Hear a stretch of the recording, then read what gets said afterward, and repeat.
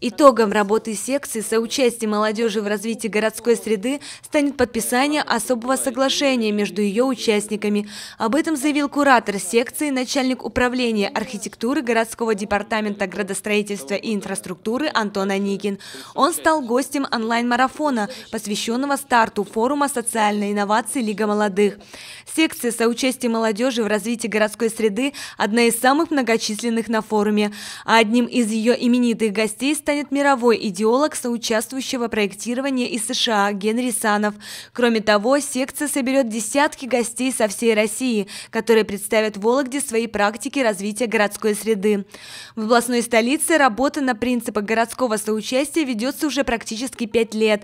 Яркими примерами стали проект «Активация молодых архитекторов», новая удобная остановка у драмтеатра и многие другие. Впереди новые масштабные задачи. 2015 года идет э, федеральная программа по строительству школ.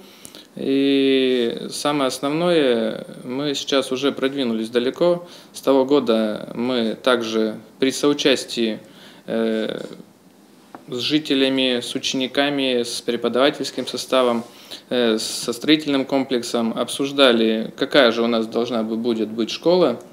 И у нас родилась связи всех этих встреч и бесед э, техническое задание. Напомним, средовая секция, так же как и все остальные, начнет работу 4 сентября.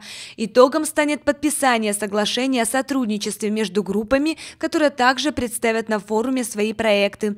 Такое взаимодействие поможет в дальнейшем вывести реализацию проектов по преобразованию городской среды на новый уровень. Мария Зварова, Юлия Савинцева, Михаил Прищев, Вологда Портал.